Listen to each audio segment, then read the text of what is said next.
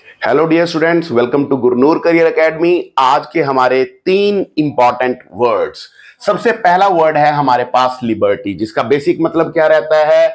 The state of being free within the society society या simple words में मैं बात करूँ तो फ्रीडम सेंटेंस में हम देखें he lost his liberty privileges आज का सेकेंड जेरिक जिसका मतलब क्या होता है? एक्चुअली ये वर्ड जो है, ये एनवायरनमेंट से रिलेट करता है.